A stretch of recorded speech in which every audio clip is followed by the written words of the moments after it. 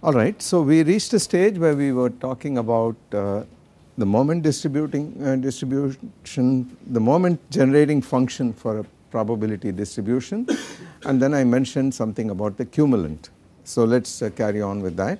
The idea is the following, if you have a probability distribution for some random variable and from now on let me use a symbol capital X for a random variable in general. It could be continuous, it could be discrete. We have looked at discrete random variables, integer valued ones, but we are going to extend it to continuous random variables as well. Then you define a moment generating function m of u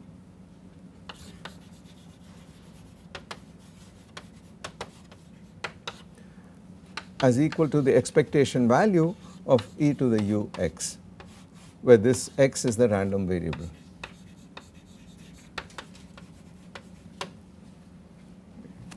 And of course that is immediately equal to a summation from uh, k equal to 0 to infinity u to the k expectation x to the k divided by k factorial. And these are the moments of the random variable. Okay could be discrete could be continuous whatever. With respect to the average is taken with respect to the normalized probability distribution. Okay. Now immediately it follows that m of 0 must of course be equal to 1 because we put uh, u equal to 0 here all terms vanish except the k equal to 0 contribution which is 1 the expectation of 1 is just 1 okay. So that is the normalization of the probability and then one can ask can this quantity can m of u be written as e to the power k of u some k of u okay. Can we do that? What does that mean? It says you are taking this quantity here which is in general going to be some power series in u as you can see and you are writing it as the exponential of another function out here and we will see the advantage of doing this very shortly. Of course this immediately implies that uh, k of u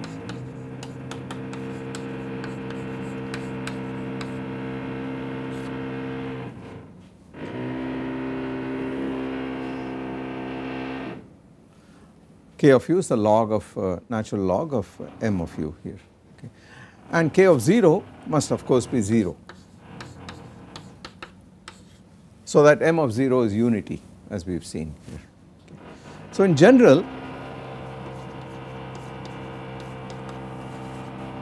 summation from r equal to 1 to infinity some constants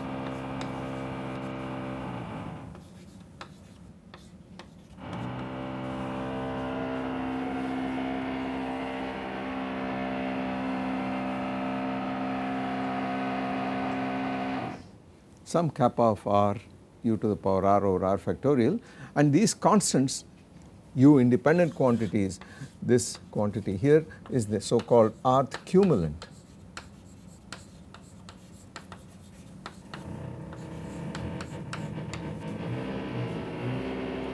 of the random variable. Okay. Now it is not hard to see that these cumulants are going to have interesting properties. Uh, kappa 1 equal to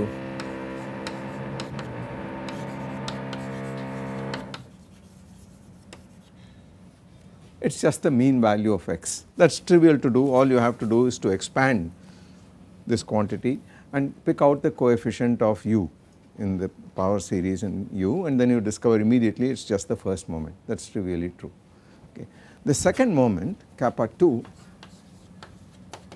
equal to turns out to be x minus the expectation value of x whole squared equal to the variance. It is just the variance of the random variable.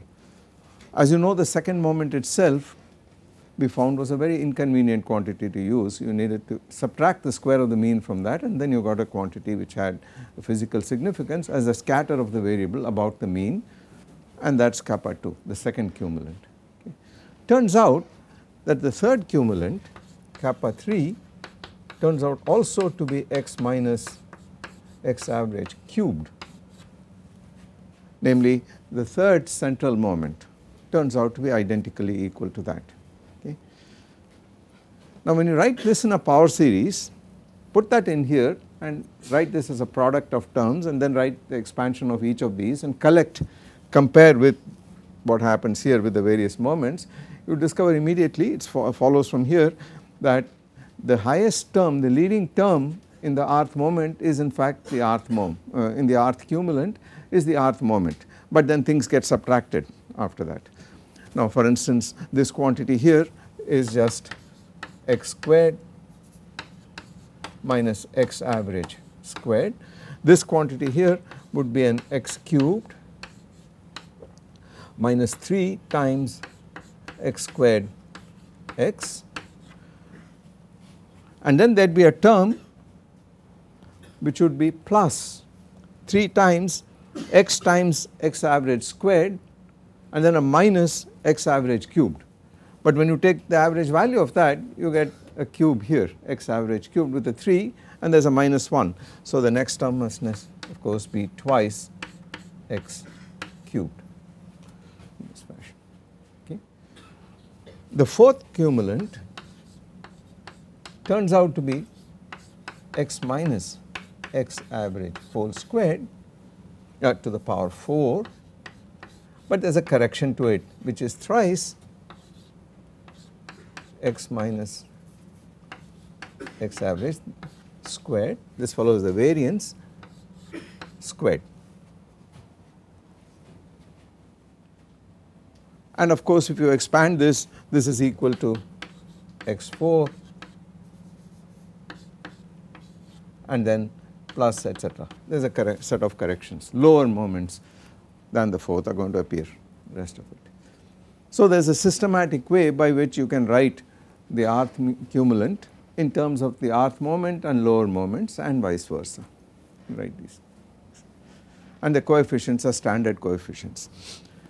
In a sense what is happening? You are kind of subtracting out the lower moments an appropriate combination of lower moments when you do this. And you have seen this happen in many many places. For instance when you subtract out uh, in the quadrupole moment of a charge distribution you, you subtract out the lower moments in exactly the same so that the whole thing is rotationally it has got interesting uh, definite transformation properties.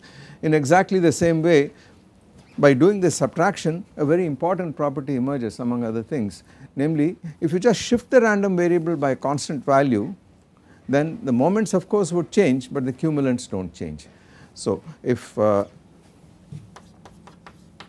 x is replaced by y which is x plus a constant a some constant value a sure value a then the first moment of course will change because the average of y is now the average of x plus a this constant a but all the cumulants remain exactly the same.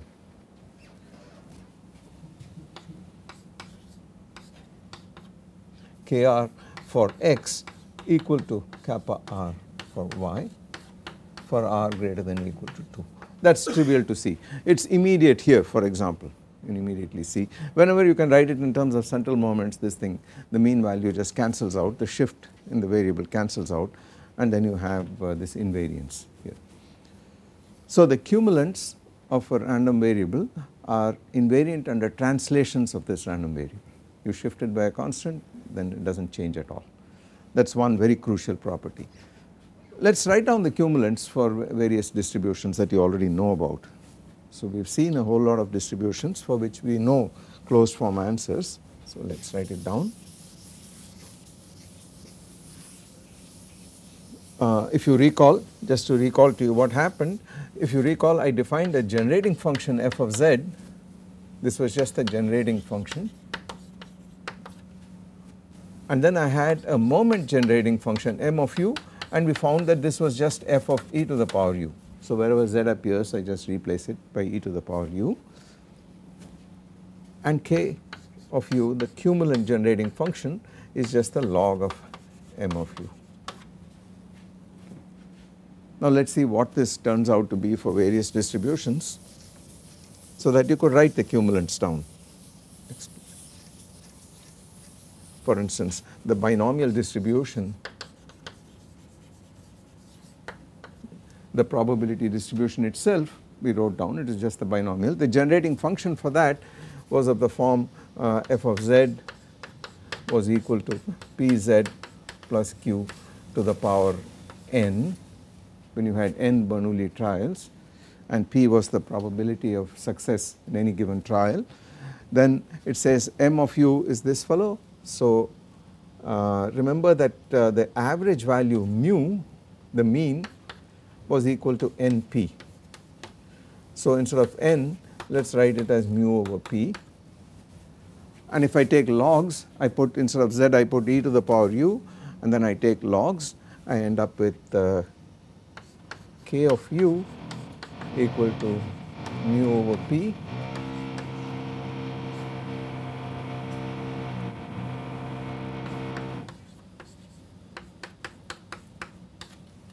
1 minus p. So that is the cumulant generating function for uh,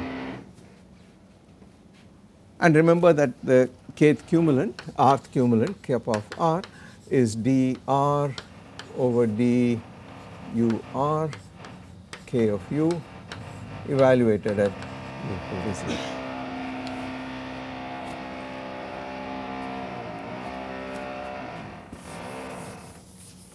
So once you have this expression it is a very simple matter to write down what the cumulant generating function is and therefore what the cumulants are completely for this, uh, this binomial distribution. What happens in the case of the Poisson distribution?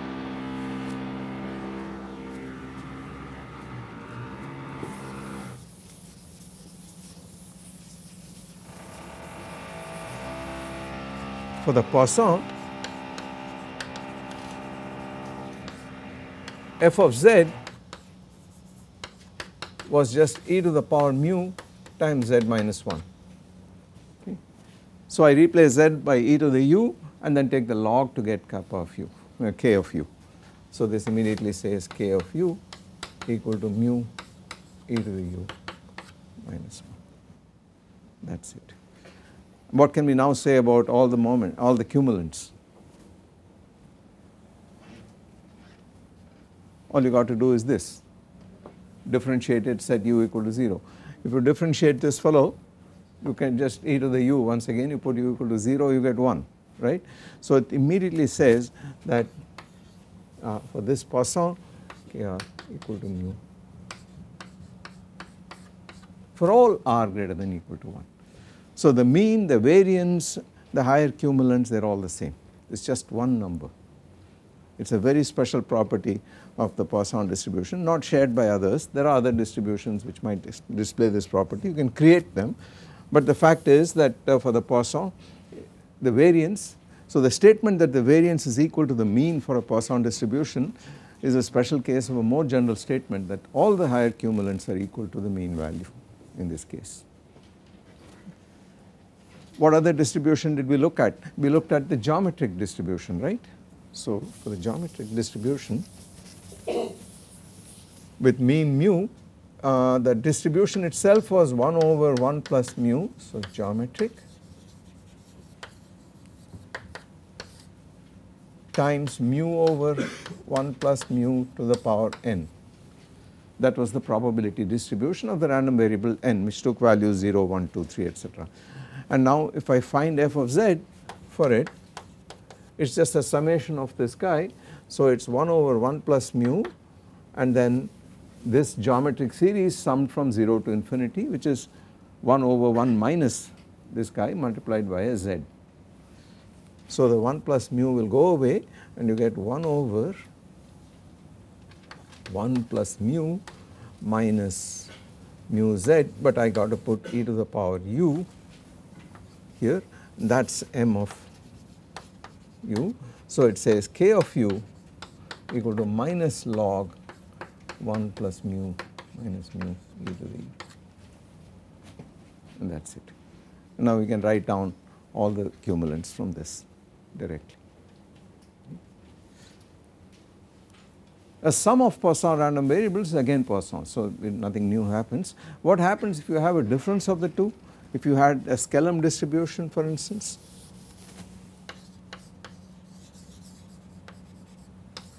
where you have the difference of two Poisson random variables whose means are mu and nu say. What happens then? Well the generating function was this and then in the other case for the nu because of the minus sign when we generated it you had an e to the 1 over z instead of z. So it would be just this plus nu times e to the minus nu uh, e to the minus u minus 1 that is k of u okay. And of course the first cumulant is the first derivative of this at u equal to 0 and that will immediately give you mu minus nu which we know is the mean. The second cumulant you differentiate this twice you are going to get a plus sign again and so on.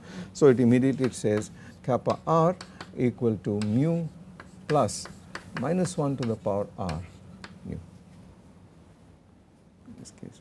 So every other moment every other cumulant is uh, mu plus mu and every other one the, the even ones are all mu plus nu and the odd ones are all mu minus nu as you as you would expect in this case.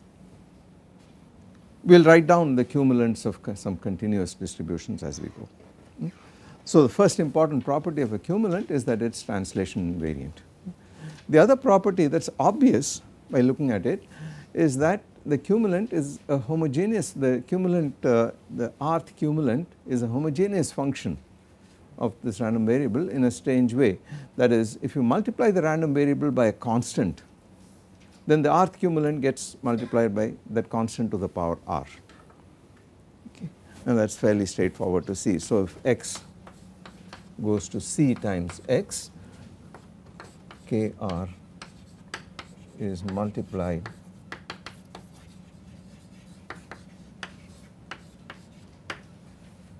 by c to the r. So the scaling property is also very immediately obvious here. The cumulant has another very crucial property.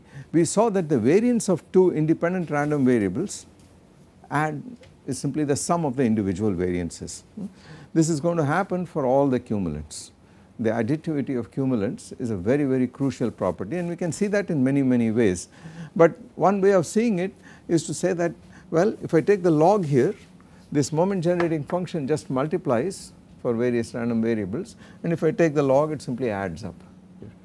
So it is clear that if you have several random variables independent random variables then and they are independent statistically independent then the cumulant rth cumulant of the sum is equal to the sum of the rth cumulants. So the crucial property is that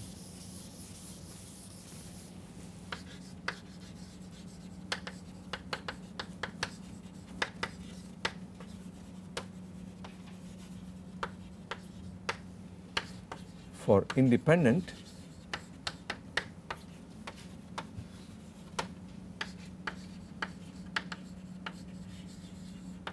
this is absolutely crucial. It is a very very important property. We make use of it. As we will go when we talk about limit theorems we are going to make use of this at least part of this property. Okay. Now I have mentioned off and on continuous random variables so let us just say a few words about it and then uh, so you have a continuous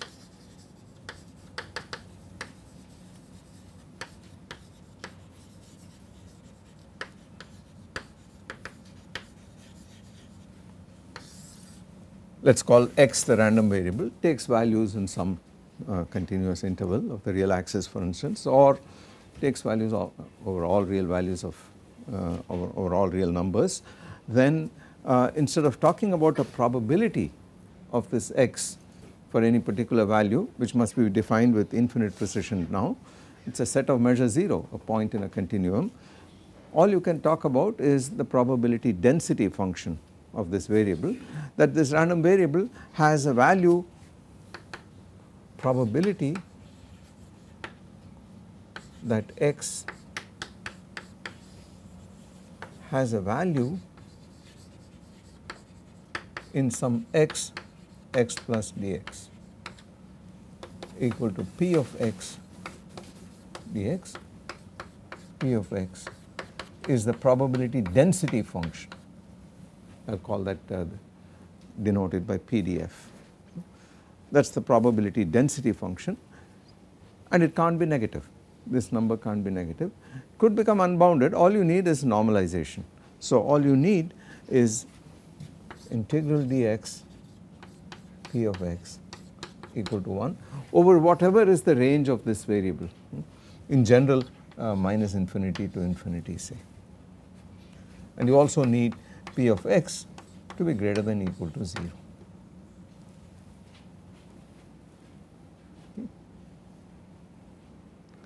Now we are going to be rather loose in our mathematics. If for example uh, you have a situation where there is one particular point in the continuum where there is a finite probability that this variable has a value then we will include it in here by putting a delta function at that point. We put a delta function spike in the PDF with an appropriate weight factor so that it gives you the probability of taking on that particular value. So we will be a little casual about this I will continue to write integrals but then in here could be delta functions okay. Alright now once you have a continuous random variable of this kind it is convenient to define and once you have a probability distribution function of this kind which is integrable it is convenient to define a Fourier transform for this variable. And the Fourier transform of this quantity p tilde of k equal to integral minus infinity to infinity dx e to the minus ikx p of x this quantity this is called the characteristic function of this random variable.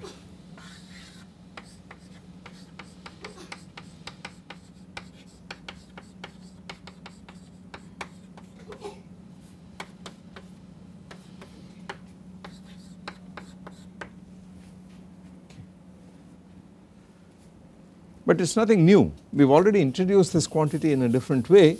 This quantity is thus the expectation value of e to the minus i k x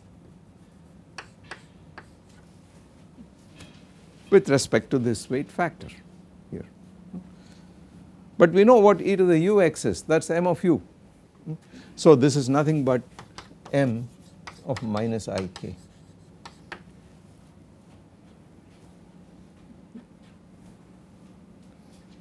So the characteristic function is just another way of writing of saying that you have a moment generating function okay.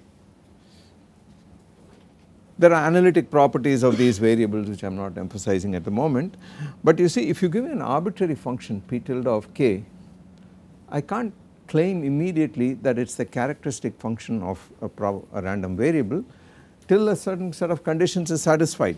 For instance if I want a normalization to be valid for this if I put k equal to 0 here and I want the integral to be equal to normalized quantity 1 total probability then this immediately implies that p tilde of 0 must be equal to 1.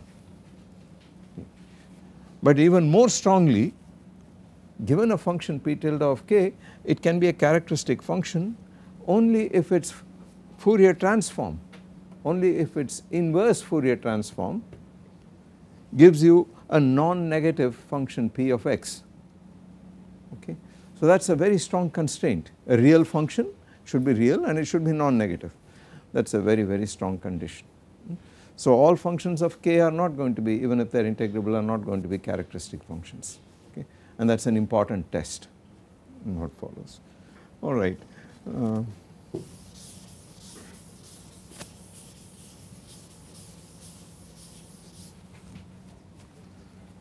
Now the additivity of cumulants follows trivially once I introduce the characteristic function as you can see from here because this immediately says that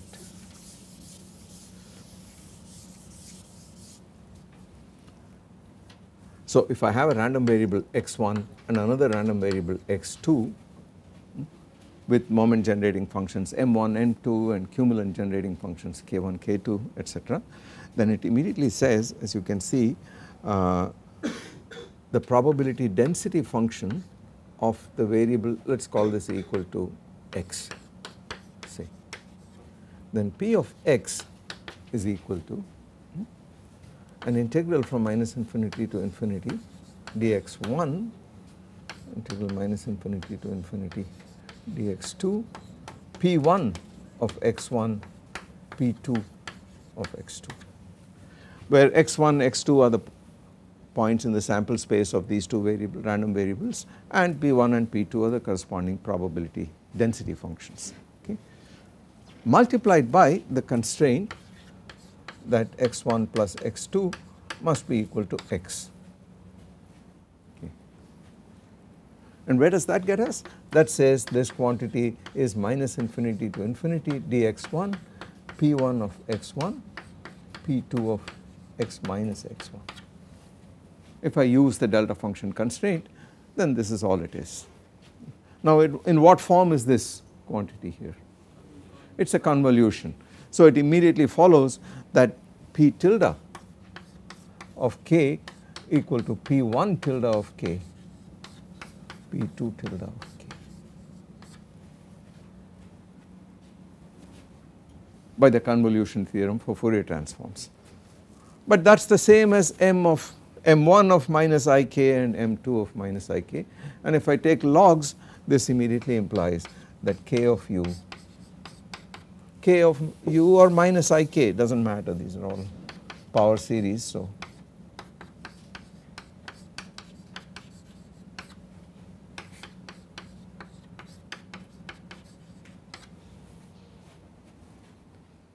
Which implies that the cumulants add up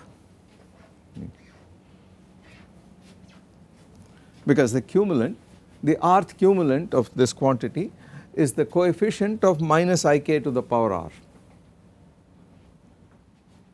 divided by r factorial or whatever, right. So it says immediately the additivity of cumulants is a trivial consequence of this fact here. Okay. If they are discrete value random variables over some finite range or something like that, you got to work a little harder to do this, but it is pretty much the same thing.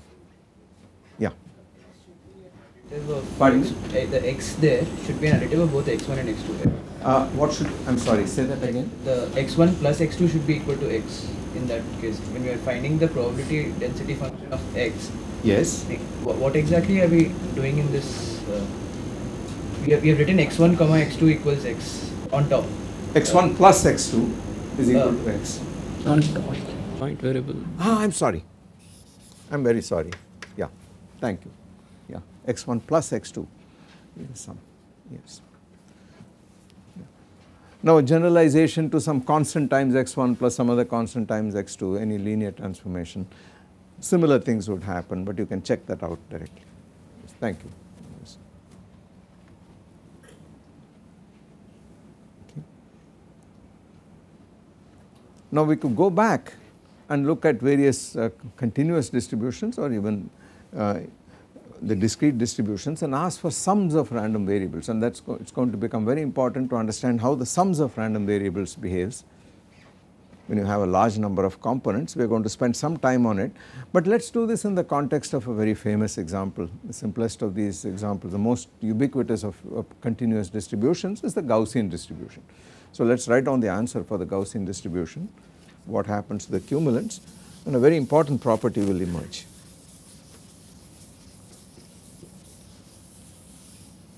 So the Gaussian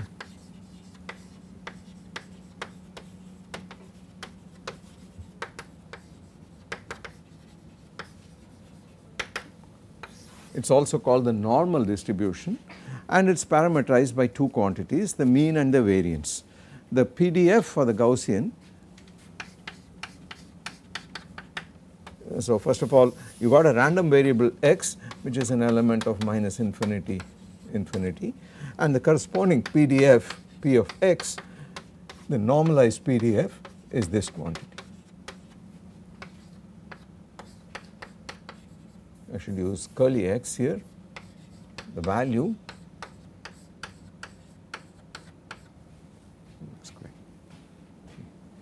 then the mean value of x, this quantity is mu and the variance of x equal to sigma square.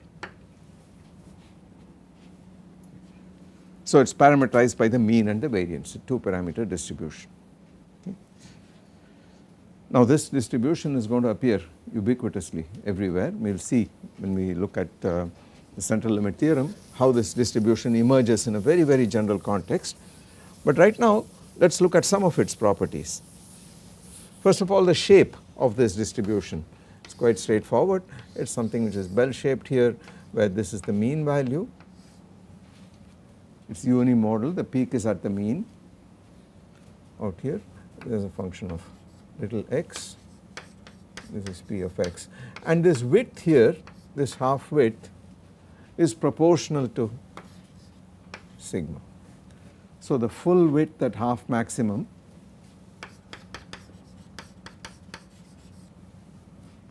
the value at this point at this mu at x equal to mu is 1 over root 2 pi sigma squared and when you go to half that value this quantity here the width is proportional to sigma and sigma is the standard deviation out here.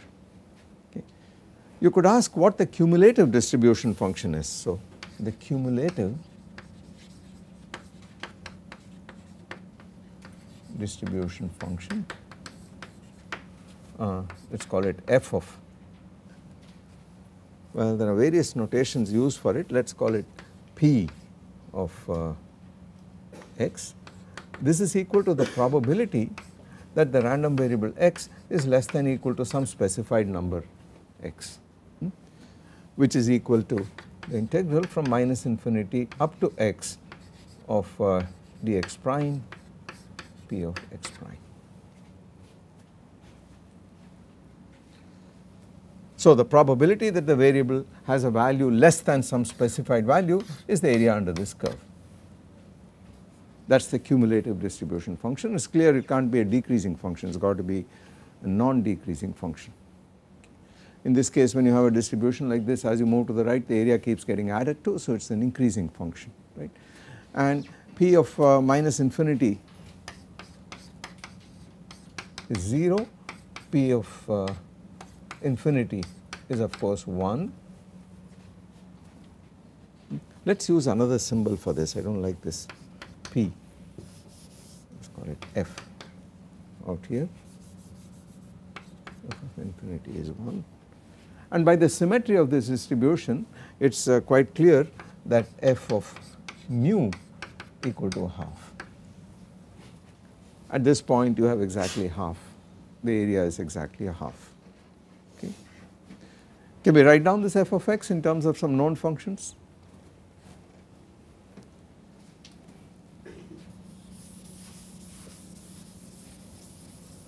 Well, there is this famous integral, it is called the error function, error function of uh, x. This is defined as uh, an integral from 0 to x dt e to the minus t squared. And you want to normalize it. So 0 to infinity the answer is equal to square root of pi over 2, so 2 over root pi. Then erf infinity is equal to 1, erf 0 is 0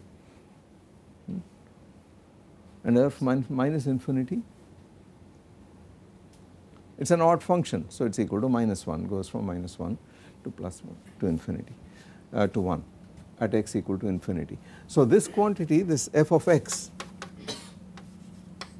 will turn out to be half 1 plus the error function of uh, x minus mu because I have shifted everything to mu the origin to mu and it should be scaled down. I used a dimensionless variable here.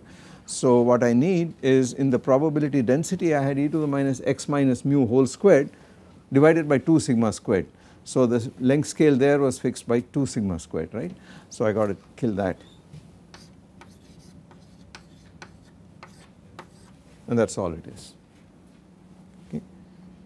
And this erf x itself is a, a function which looks like this the function of x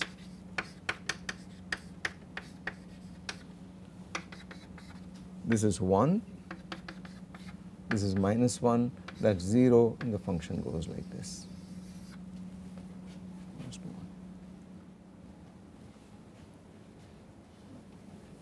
And that is what the cumulative density distribution function of this uh, random variable is. Okay. Statisticians like to use the cumulative distribution function rather than the probability distribution function itself for various reasons. First of all when you have these atomic probabilities namely you have a given point where there is a finite measure for instance then we need to introduce things like delta functions and so on which are rather singular objects but when you integrate it out things get smooth. So people like to use this rather than using you do not mind using step functions but you delta functions are a little singular. You got to define them more precisely etc. So it is convenient in many cases to do this. Physicists generally work with densities all the time probability density functions etc. So once we have this we could ask what's uh, what are the various quantities uh, associated with uh, this Gaussian distribution? Two parameters mu and sigma squared the variance we could ask what all its cumulants are for instance. We could ask what its moments are. And what would be the moments of this distribution? We already can predict what's going to happen. For a Gaussian uh, we can ask what's x minus the average value the central moment this quantity. This is of course 0 by definition because mu is just the expectation of x but we can ask what this is for the kth moment 2k plus 1 say the odd moment what should this be? Well the PDF is a symmetric function of x minus mu and now I am asking what is the average value of x minus mu to the power an odd number an odd integer it should be 0 by symmetry this is 0. The integral exists for all positive k as you can see because there is a e to the minus x squared to take care of convergence definitely all the moments exist so this is identically equal to 0.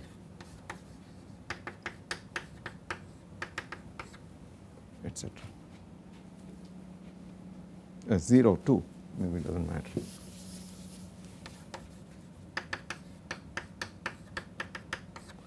And what are the even moments like?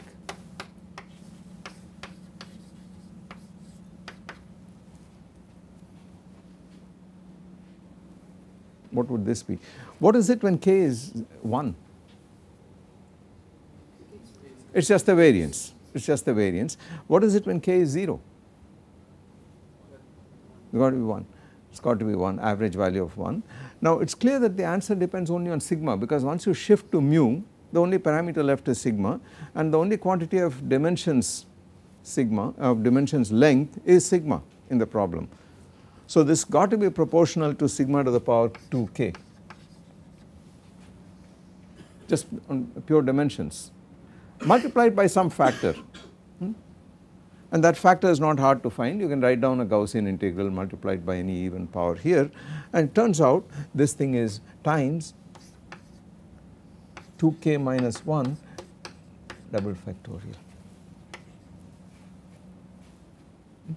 This stands for 1 times this, this fellow here stands for 1 time into 3 into 5 into 2k minus 1.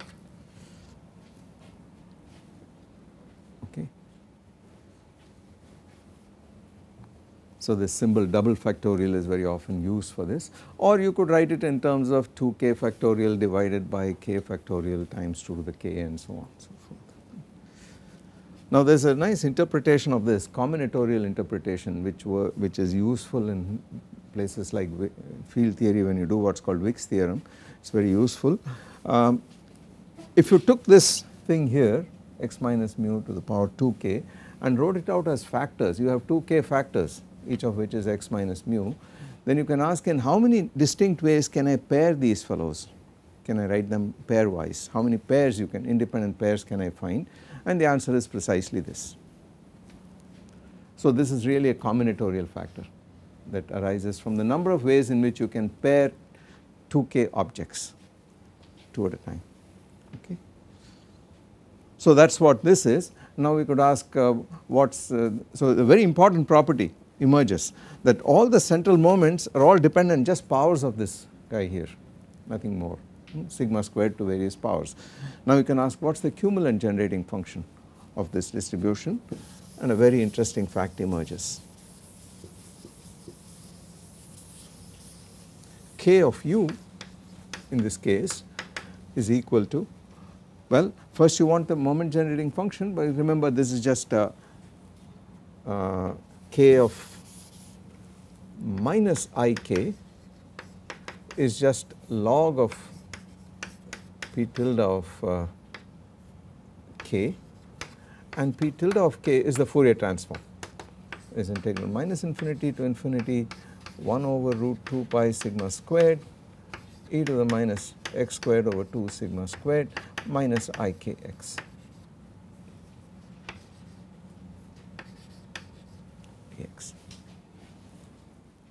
It's the Fourier transform of a Gaussian, okay. And what's that going to be? It's also going to be a Gaussian. This guy is also a Gaussian and all you can all you need to do is to complete squares out here pull out a 1 over 2 sigma squared complete squares here. It is also a Gaussian but what is the width of that Gaussian going to depend on?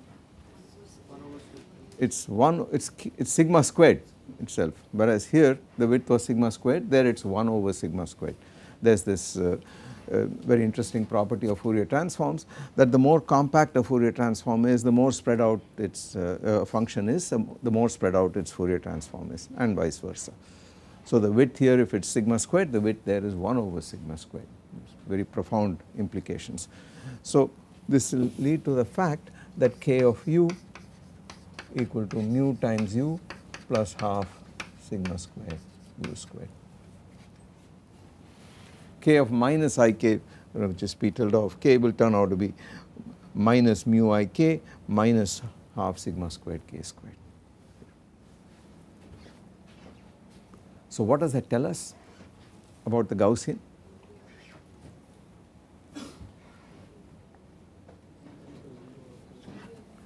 It says of course it says immediately true that kappa 1 equal to mu and kappa 2 equal to sigma squared that is that is very clear but what does it say about this?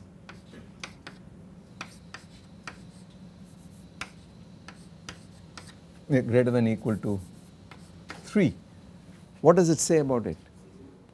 It is 0 identically because remember it is the coefficient of u to the r over r factorial in a power series expansion about the origin of k of u and this is a polynomial that is it just the first two terms and everything else goes away. So an incredible property of the Gaussian is that all cumulants higher than the second one vanish identically. There is a first moment, there is a second moment and there is a, there's a variance, a mean and a variance and all the higher cumulants are identically 0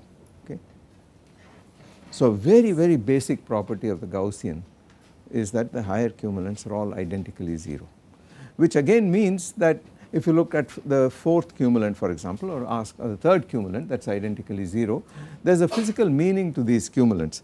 The mean is of course going to tell you something about the average value, it is exactly the average value. The variance tells you the scatter about the mean.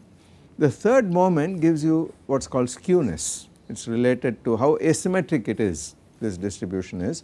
And when you have a symmetric distribution like the Gaussian, the fourth or any other symmetric distribution then the fourth cumulant gives you information about how much it departs from Gaussianity because this relation immediately tells you this relation here it immediately implies that for the Gaussian kappa 4 is equal to this quantity which is uh, delta x that is the uh, x minus average x which I call mu, mu to the power 4 minus 3 times the average value of x minus mu whole squared squared is identically 0. Okay. for the Gaussian okay. and this quantity in general let me call x minus mu equal to the deviation from the mean, then this quantity delta x 4 minus 3 times delta x squared the whole square and just to make it dimensionless we divide by this quantity delta x squared squared this quantity. This is called the excess of kurtosis.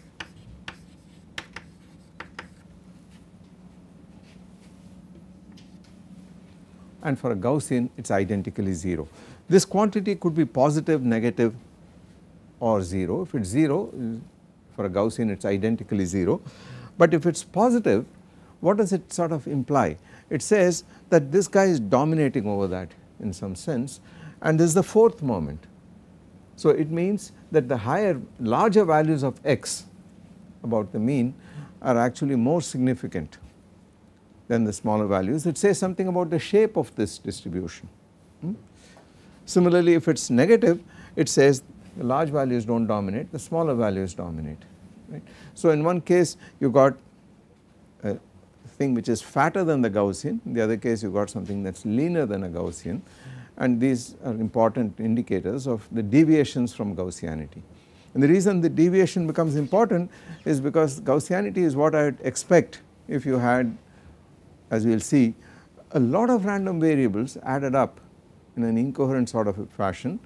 And the limit for suitable rescaling of this sum linear combination it turns out the distribution will be Gaussian under very very robust conditions. So this implies that whenever you have a deviation of this kind it says something very important about the underlying physics in the problem okay. So keep that in mind that you have this is identically 0 for a Gaussian but then there are distributions for which this is not so. Now pretty much you can ask does this go on forever after all to define the distribution completely I need information about all the moments. So is it that I need an infinite set of numbers only then can I reconstruct the distribution. For instance suppose I give you all the moments of a distribution can you uniquely reconstruct the probability distribution function or the density function. This important problem is a problem in mathematical statistics it is called the problem of moments and there are certain answers known to it under suitable conditions. It is a very important problem. We will not go into that but let me explain say simply say that for practical purposes very often when you actually analyze data etc. The first 4 cumulants serve to pretty much describe the random process the random variable more or less completely. So the mean gives you some crucial information about what this variable is typically likely to be if it is a simple kind of distribution. The uh, variance gives you a scatter, the third one tells you about skewness or asymmetry and the fourth one tells you departures from Gaussianity. So pretty much this uh, numerical purposes this should this suffices in most cases. But of course from a theoretical point of view you need to know all the moments before you can make statements here. You could ask the following question which is an interesting one I am not going to prove it here which is the following are there continuous random variables with well defined probability density functions such that just as a Gaussian had a quadratic cumulant generating function and all the higher cumulants were identically 0 after k3 and onwards. Is it possible to have a cumulant generating function which is a polynomial of some finite degree greater than 2 and everything else all the higher powers are 0. So the distribution would have cumulants up to some n and then every other cumulant is identically 0. Hmm? Is it possible to have such a distribution? The answer is under fairly general conditions no. Either in principle all cumulants exist hmm, barring accidents in certain cases or the Gaussian says it stops at quadratic and that is it nothing more. Hmm. There are other such properties which will also emerge as we will see when we talk about stable distributions. We will see there are uh, certain other interesting properties of this kind which will emerge that either it stops at the second order or goes on forever then only other two possible possibilities. We will see where this comes about. Okay. So the next step now is to ask uh, I have some information about the Gaussian, other, other such distributions, there are several but we will talk about it when we come to stable distributions. But first we would like to do the following, I would like to take a set of ordinary very simple distributions for random variables, add them all up and see where it goes, what the distribution of the sum looks like. In particular we will uh, undertake a simple exercise, we are going to take a whole n random variables all uniformly distributed between 0 and 1 so this random variable each of the random variables takes values between 0 and 1 with a constant probability distribution function 1 and I add up all these fellows and ask what is the distribution of the sum of this thing. So we will work that out explicitly here. Meanwhile one final point if you have functions of random variables their probability density functions can look very different from the distribution density functions for the original random variable.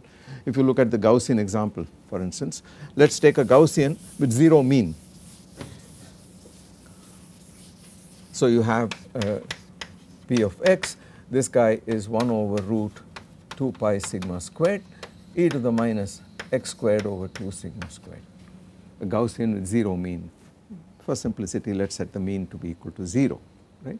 And then I ask what is the density function probability density function of a variable uh, let us call it uh, xi uh, which is equal to the square of this variable and let us call its PDF uh, rho of xi. Now it immediately it is obvious that this xi is an element of uh, 0 infinity unlike the original random variable which ran minus infinity to infinity now you got 0 to infinity. What is the distribution PDF of uh, xi going to be like?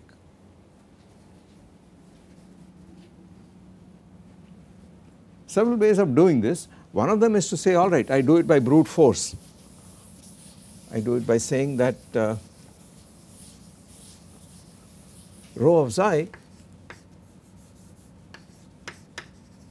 must be equal to an integral minus infinity to infinity dx p of x and then a delta function which says xi minus x squared, x squared is xi. Okay.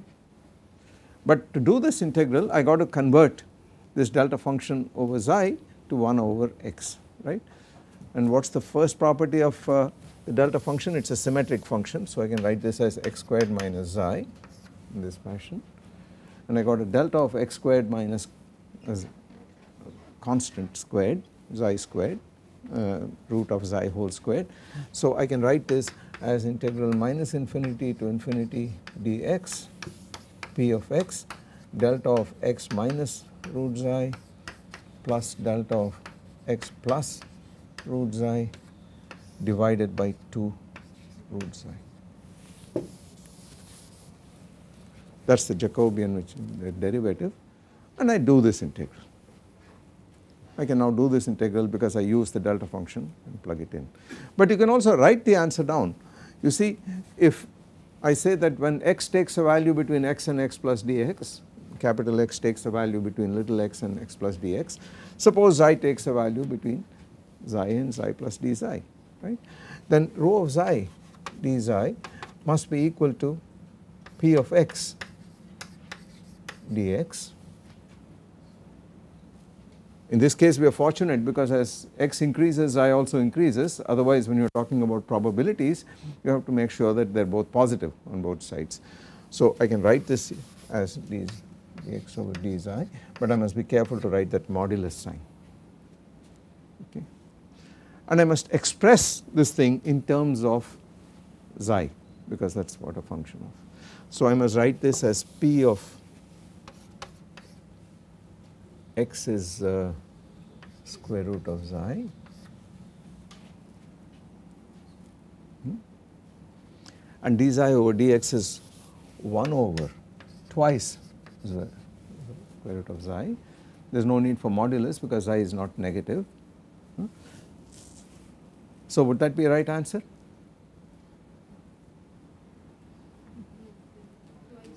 No, because minus x contributes exactly the same amount to this, right. So there is a factor 2 you put in here. And that is equal to e to the minus xi over 2 sigma squared over root 2 pi sigma squared xi.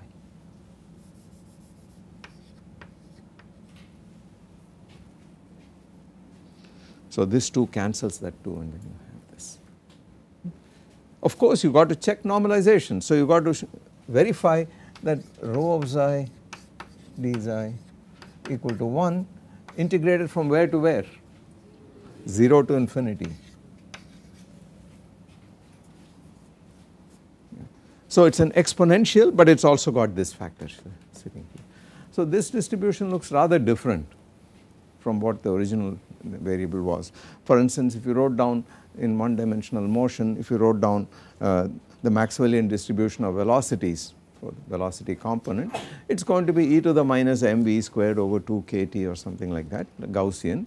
On the other hand, if you asked what is it for the energy, which is half mv squared, then it is going to be proportional to e to the minus the energy with some kt factor divided by square root of the energy in the denominator.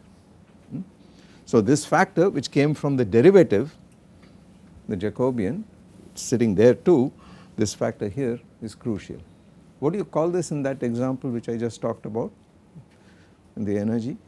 The density of states. You call it the density of states. It is precisely the density of states in one dimension for one dimensional motion. Okay. So, we will see where that is when we talk a little bit about the canonical ensemble you will see that uh, this density of states plays a crucial role. Uh, we will talk about that when I uh, mention um, the characteristic function for this distribution. Okay. All right. So, the next exercise is to take a set of identical random variables and add them up and see if the how the Gaussian emerges magically. We will do that next time.